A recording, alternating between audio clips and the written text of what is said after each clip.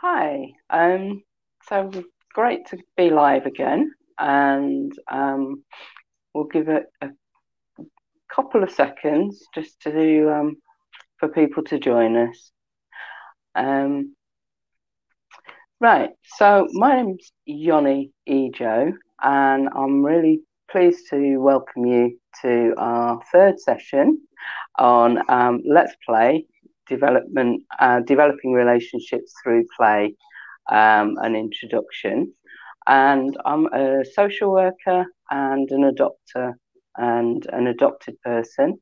And I'll let Keeley introduce herself too. Hi, folks. Nice to see you again. Um, I'm Keeley Craw. Um, I've worked with children for a long time, about 25 years, but it was really the last 13 years that I've worked as a play therapist.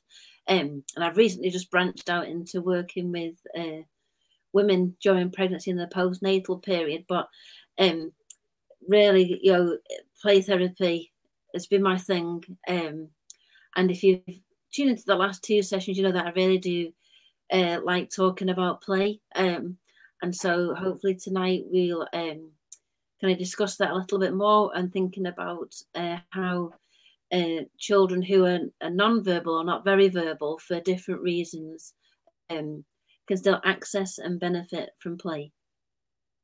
Brilliant. Thank you, Keeley.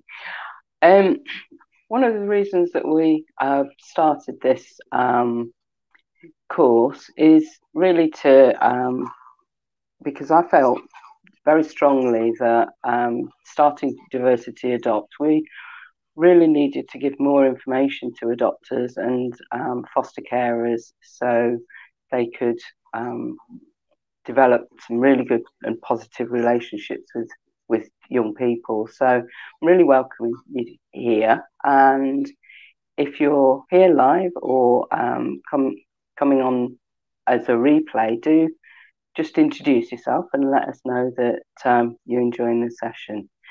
Um, okay, so that's the, the introductory bit. So um, over to you, Keeley, to talk about non-verbal children. Okay, thanks, Yoni. Yeah, I just feel it's really important just to kind of feel think about um, including non-verbal children in play. So children could be non-verbal for a variety of reasons. Maybe they don't actually have the physical ability uh, to speak. Um, you know, in terms of physiology, maybe um, they have a social or communication disorder like autism, um, where their ability to speak is limited, or maybe they have a selective mutism, or maybe sometimes um, children are just really shy, very anxious, and they just don't want to um, verbalize a lot.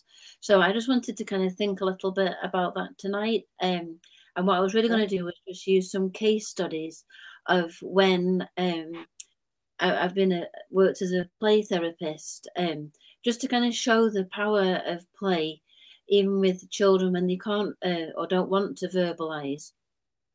Um, you know, because you know it, it can really work, and and sometimes when we when we're trying to kind of just get the children to speak, it doesn't work, and we can feel like we're just kind of hitting a wall. But I think play can be really useful for that. And also, I hope what you would draw from the case studies too is that you know different children respond in different ways, and we can get different things and learn different things through play with the children. Mm. So the really the aim of um, what Yoni and I are trying to do with this course, these sessions, and the 10 module course sort of following the new year is to kind of help you to think about play in terms of how you can develop a relationship. And that could mean lots of different things. So, um, you know, for some children, it might be that, you know, you can use play it'll work really well. And maybe after a period of time, they're more open in the verbal communication with you. Maybe they're just more open to kind of physical contact. For other children, it might just be, you know, that you ask them how the day was at, at school and they can say, okay. And there's two plus mm. points. They had an okay day at school, um, which might be a biggie, you know, for some kids. Yeah. And they were able just to say, okay, instead of just the silence or the mm, or the nothing. Um, yeah. So um, I think you know also we use a lot of non-verbal communication anyway. I think it's quite a well-known fact now that actually 80% of our communication is non-verbal. So the the facial and body expressions we make give out a lot of mm. communication, and likewise, it's read. Um, a lot of what we read in other people comes from the non-verbal communication, their body language. So it's really quite powerful anyway. But I think um, now I just want to show it in play. So I also wrote a blog piece on this too. So I'm going to draw a little bit from that, but also take another case study as well. Um, okay. But the first example I'd like to use um, is a boy called Dominic. So he was 17 years old and okay. uh, he lived in a residential care home with other young adults who also had complex um, physical and learning disabilities. And um, he wasn't verbal at all. Uh, sadly, uh, as an infant, he had there's going to be a test encephalitis. Um, ah, okay. Inflammation of fluid on the brain, and it had, mm. it's a virus, and it had left him uh, quite debilitated. He had some physical mobility, uh, but his ability to uh, speak wasn't there. Um, and he came for sessions with me, and and it was very messy. There's a lot of tidying up afterwards.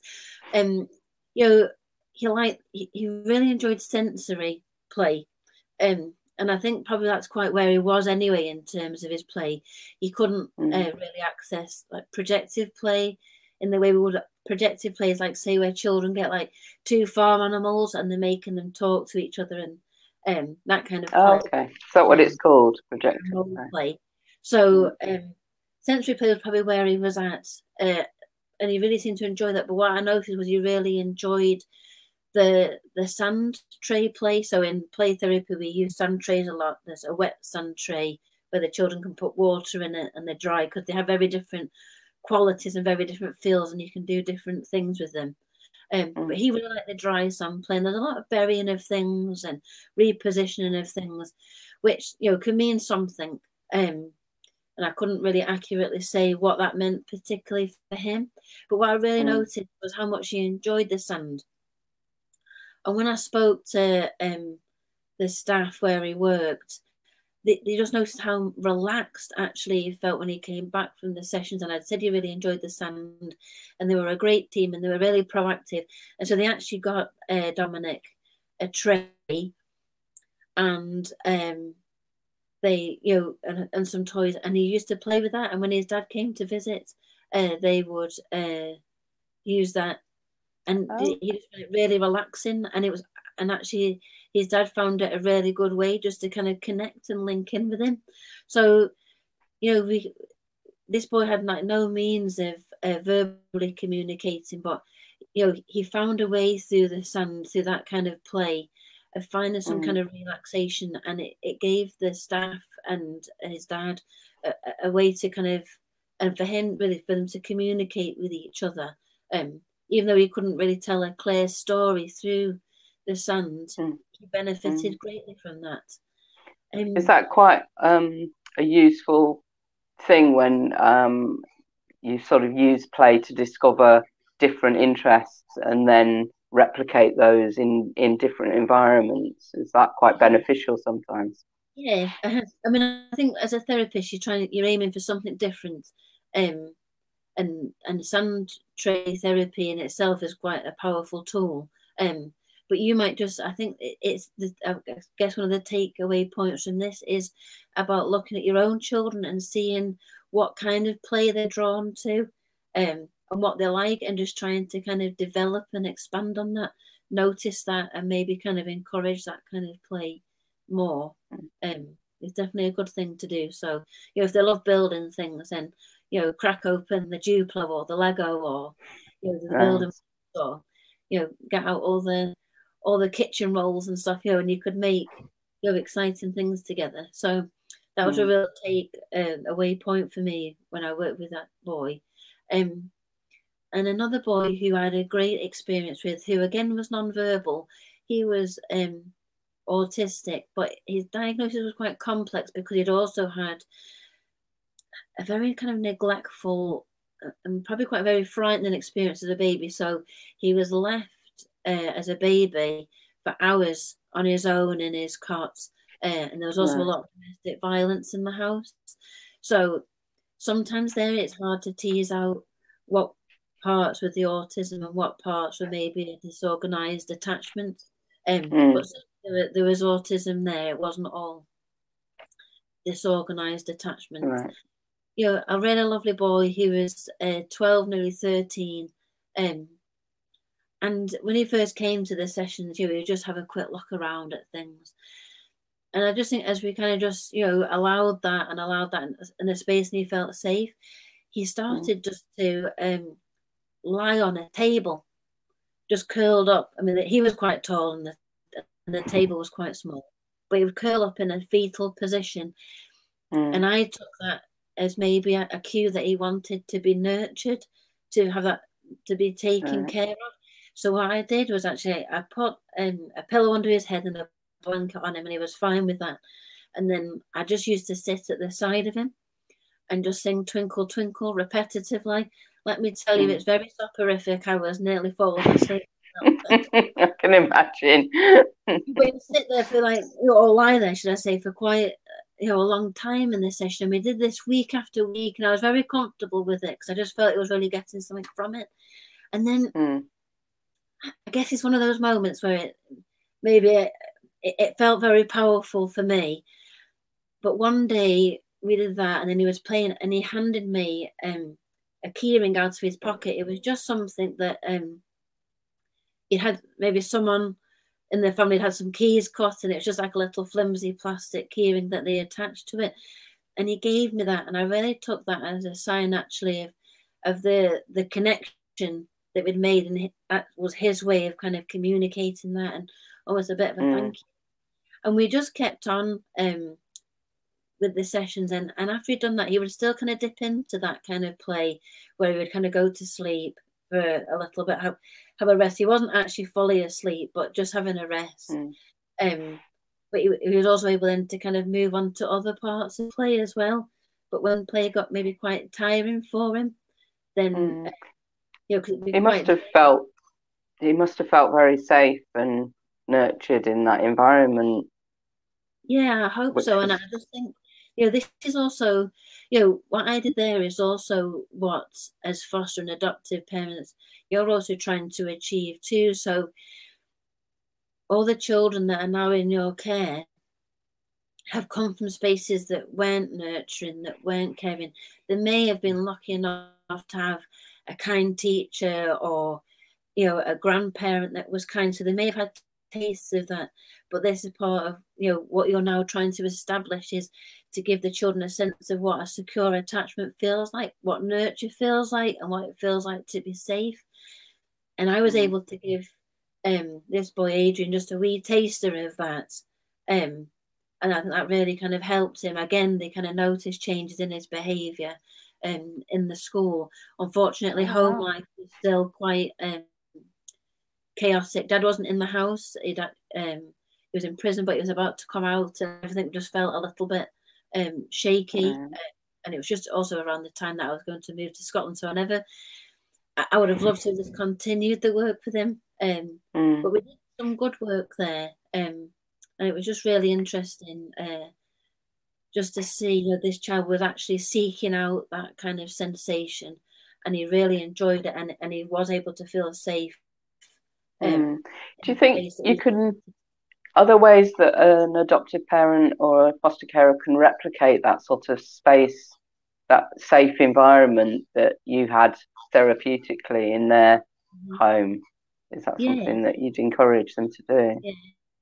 I mean, potentially, I Yoni, that could be a whole other course. Um, yeah, I guess if you were just going to take some key elements away from that, it, it's about how you kind of provide that nurture and, and safe space. So it's in those you know those times when we can be calmer so like bedtime is always a good one you know where mm-hmm. you know you can kind of all like like snuggle up together you can be reading stories maybe the children are of an age where they like to like take a drink of milk with them or something you know and just just making out those kind of calm times maybe just mm. you know be like singing them to sleep you know if they'll tolerate that Depends how good your voice is, I guess. But or tapes, maybe for me. I think yeah. music, just something that just kind of just sets that tone. I guess it's almost in some ways for some of these children, it's kind of going back and almost doing a bit like what you would do for a baby. Uh, you know, where night time is about you know the lights are low, you know, mm. there's cuddles, there's milk, um, there's maybe like a story or two, a little song, and just that very soothing kind of tone. And it just maybe mm. some elements of that can come into the day, um, that can really help. Um, just as part of providing that kind of sense of nurture. There's lots of other mm. ways too, um, but that could just be one I one way to achieve that. Okay. Yeah. Do you think um, when you talk about um, non-verbal cues and and certainly a lot of young people and children I've worked with sort of struggle to um, read non-verbal signals. Is that an issue that impacts on their play at all? You know, I think sometimes what I've noticed recently is I've just moved into a private practice where I'm working with mums, and so it's and it's all online. So I, there is no real space at the moment to work creatively in ways that I normally would have. So I'm relying a lot more on words. And mm. what I've really just noticed is like actually when I was when I'm doing play therapy, how much the play actually talks for me and how much of the okay. communication actually happens through play. And I think that's um, one of the great things actually about using play is that it doesn't really rely so much on um, the words, but also in the non-verbal communication because almost like the play kind of takes over and takes on a, a voice and a communication of its own. So mm. it doesn't necessarily have to be that kind of reading of the non-verbal cues from you per se, because if you're just kind of really focusing on the play, that will kind of it's like a catalyst really, and it does a lot of the work uh, for you. Um, so that's why another reason it can be useful. Certainly, um, I've worked with and supervised people who, you know, I've worked with children who just don't look at you all session, you know, mm. because they're kind of maybe engrossed in the play, but also because they just don't know how to manage eye contact or, and, and again, outside of sessions, they'd be probably like getting themselves into bother uh, or really struggling because they're struggling to read the non-verbal cues that people, mm. uh, but in the playroom, uh, that wasn't so much of an issue. Hmm. Okay. So if I could oh, just that's really interesting. The yeah. case study, and this is okay. A girl again in in Scotland. Um, if you're not aware already, children spend an extra year in primary school. So this girl was twelve, and when we first started working mm. together, it did feel a bit like um, Last Chance Saloon because I only had so mon- many months with her before she moved on to um, secondary school but she'd actually come from another part of the UK. She was um, her mum and herself and a brother uh, were fleeing uh, domestic violence, um, and they'd moved to Scotland, um, and it was very upsetting. And then, you know, these things are never easy to move away from. So um, mm. the dad who'd been the perpetrator of the violence had actually followed them um, to Scotland as well. Um, mm. So again, very difficult. Um, and this young girl I'll call her Darcy. Um, very quite quiet, quite shy, maybe struggling to interact a little, and they were really worried about how she'd make that transition across to secondary school. So she came to some sessions with me, and in the first session, there's a lot of kind of talking about um, what play therapy is, just kind of going through the rules, kind of setting a contract, um, talking about why um, the child was referred. Um, and that was really the only time I got a few words out of her. And when we spoke about the reasons for referral, she'd become a bit tearful. And then we just started working with each other. And I would say we probably managed to squeeze about 12 sessions in. And in every session, there was not a word. um, oh, wow. But what she did in every session, because her, her play was the same in every session too, I had a big box of Lego and she just started in the early sessions just it it just like she was building a, a box a rectangular box and it was but the way it was kind of built and put together it was very loose and things would fall apart. The bricks weren't really overlapping each other to kind of give each other strength. And it was quite a flimsy um, mm. piece. And I just sat, I would just sit and watch it and sometimes reflect. And, and as the um, sessions went on, I noticed actually that the house she was building was getting stronger. So it became more than a box, it became a house. And then she started putting what looked like pieces of furniture in. And another week she was moving that furniture, what I'm calling furniture, around. um, right. And I just felt it, when I put my therapeutic hat on and think about that, for me, it felt like that kind of piece of Lego was a bit like her. So she was mm. quite flimsy, fragile, vulnerable. And as we kind right. of worked through the sessions, she became stronger and then all the things inside kind of started to be built and then she was looking at different permutations of moving that round and, and what layout would be better and like I said, we had to stop because then it was the summer holidays and she was moving on to high school. Mm.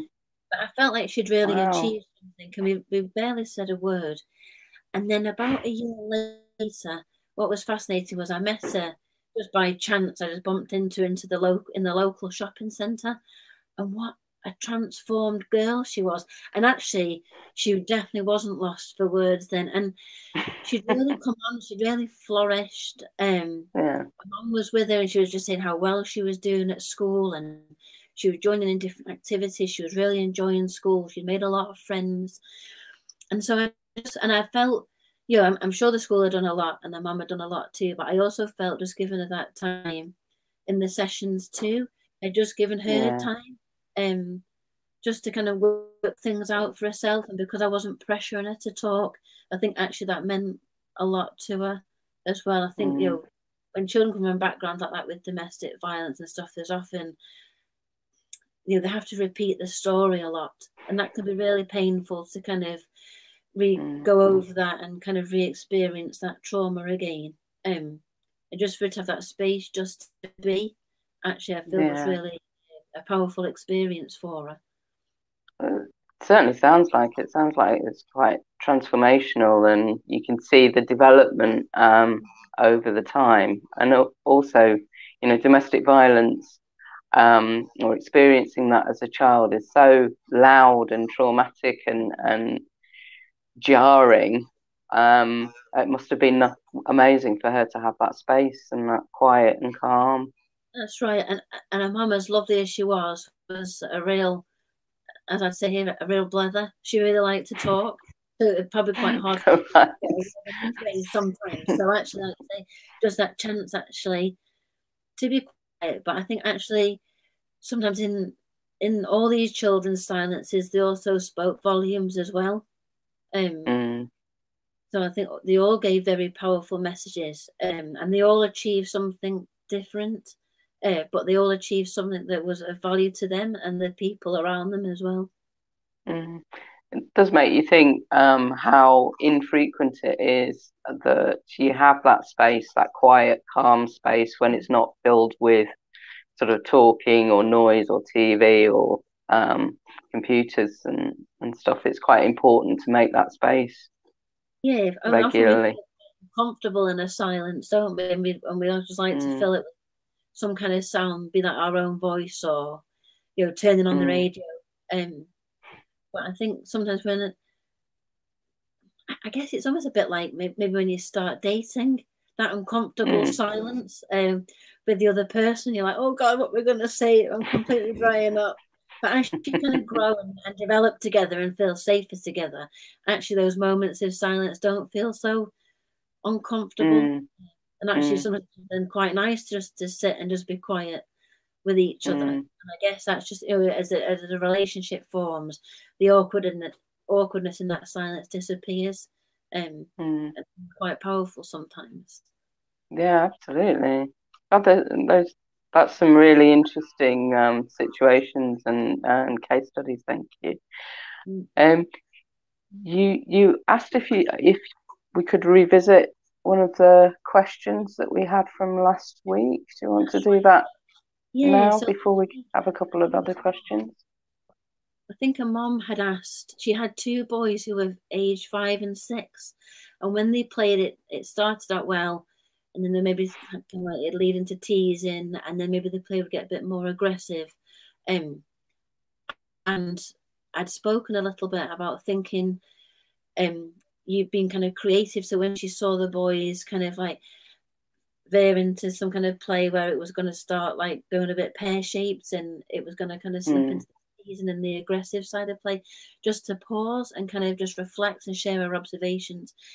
And then later on, I thought, you know what, I missed a really key piece there that's not only really useful for this scenario, but actually it's, it's just a good general uh, guide as well.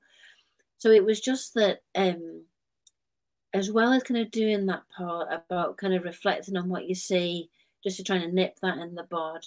Um, mm. It was also just when the children are doing something really well, so when they're playing really well, to kind of reflect on that too, because it's so important that actually when the children in the in the moment and and they're doing something good, that we can reflect on that, so they know actually what it is that is the good behaviour, as it was. Um, sometimes right. we say to them, you know, I want you to behave better or something.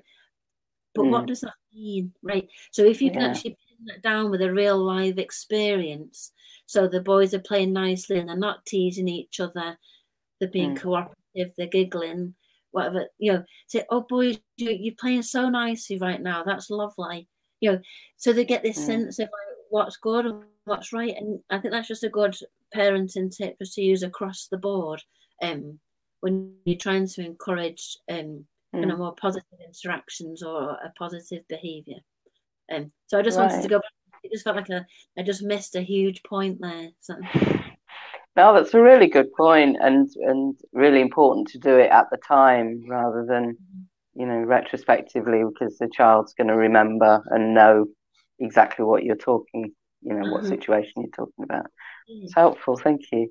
Um, some uh, doctors um, in um, one of our adoption groups um, asked a few que- a couple of questions. So if I can um, ask you about, um, they were a bit anxious about how to entertain a, um, an eighteen month old, perhaps that prefers outdoor play and, and being outside in general. Mm-hmm. when you know, obviously particularly at the moment, you have to be inside quite a bit, or weather means that you have to be inside. Yeah, uh-huh. I mean, it's always lovely, isn't it? To if you if you, I think some I've heard the phrase "there's no such thing as bad weather, just bad clothing." but, uh, you and, and sometimes it is great fun to go out and jump in puddles, isn't it? But also, you know, you can't be doing it all the time. Um, mm. you know, and if this child is 18 months old, I'm sure he or she is just full of energy too, and uh, quite hard to contain them in the four walls. But I guess if you were just trying to think about things, you know, he really wants to go outside, but it's not possible for whatever reason, then I wonder just if it could be about bringing some of the outdoors in. So maybe Chris, okay. um, just kind of giving them those kind of alternatives. So it might be just kind of like playing at the sink or getting a bowl and just filling it quite shallowly because of his age. Um, you know, mm. and also the mess that an 18 month old could make. You know, if you just put like a cloth down, um, you know, something wipeable, and then like a, a, a like a a wee bowl with some water and some toys. Uh, you know, maybe you could do that. Uh, maybe it could be, okay. um, you know, playing with sand. Gosh, if you were really, really uh, brave, maybe a wee bit of salt. that would be incredible um, you're doing things like making leaf pictures or something, something that gives him that okay. Taking some of those elements of the outdoors, um, yeah. bringing them. He's still kind of getting some of those sensations that he maybe enjoys from being outside, but kind of uh, pairing that out um, and bringing it inside. So um, he's still having okay. some kind of a an outdoor experience. So, and maybe you know Brilliant. picnics picnics on the in the rug in the lounge. Mm. Um, oh, like that's that. fun, isn't it? Uh-huh. Yeah, right. so just okay. the, the, outdoors in the contained. depends how brave you are and how messy you want want it to be. So yeah, Yeah, a little bit contained, maybe. Um, another um, a doctor asked, um, how do you manage a child who wants to dictate everything that you do or say within play? Okay. Uh-huh. So I've certainly met children like this myself. Um, mm. And they want to kind of control stuff, and often they've been quite boundary pushing as well. And what I've also often noticed with these children is they're also quite pseudo mature. So older, um, they act older than um, they actually are chronologically. Uh, and it can be quite challenging um, to work mm. with a child like that. And I guess in terms of play, you know, these children who are pseudo mature are there be, are, are so because one, they've often been put in a position of responsibility, so maybe they've had to care um, mm. for their parents or other siblings or other adults. Um, they've always been the one who's had to sort everything out. And also it leaves them with a sense that adults aren't to be trusted. And if you're gonna, you know, if you're gonna get a job done properly, do it yourself. So they, you know, they really kind of struggle to kind of relinquish control, um, mm. because mm. adults haven't been able to kind of um, maintain control well or keep them safe or protect them. So they've taken that role on. And what I've just found in that in that scenario is that I would still kind of um, let them kind of lead in that play I'd be maybe kind of reflecting on it seems really important that you're in control of this or mm. you know mm. that you want to do it this way. I kind of reflect on that a little bit. But I also think that once a safe and kind of nurturing environment is created, that some you know, it can take a while um because mm. there's, a, lot to lose um for the child, but they can actually kind of relax into it and then they will start I don't think that's a relinquish full control. It's actually about being cooperative, isn't it? But they will kind of allow you in mm. to the play, mm. and they'll allow some of entertain some of your suggestions as well. Um, maybe not be so kind of controlling or mm. as dominant. So I think it's just about time and just really just trying to kind of make that kind of feel as safe as possible. So in terms of play, it's like if you're going to do something, follow through with it and, and do do it. Don't make promises that you can't keep. If you're going to say, we're going to play together at Saturday after lunchtime, mm. then definitely make sure it's Saturday after lunchtime. It's all those things that actually kind of show a child that you can be uh, trusted and helps them then to kind of take that guard down. Right.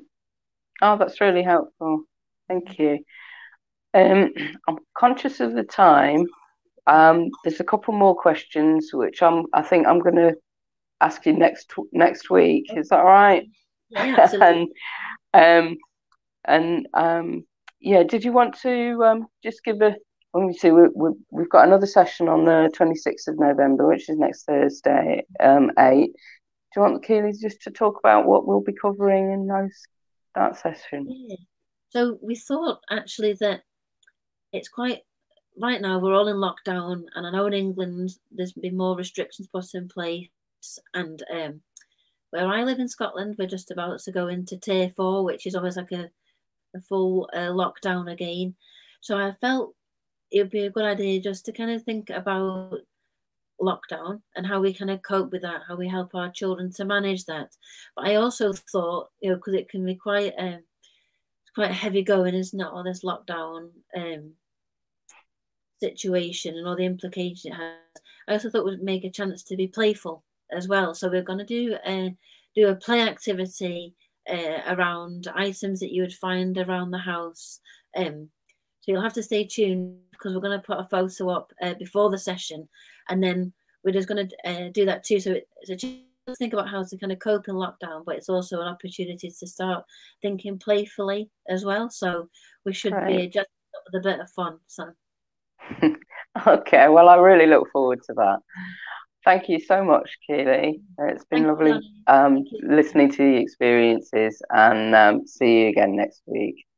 Yeah, thank, you. Thanks for watching. And um, do let us have your comments and um, see you next week. Thanks. Bye-bye. bye bye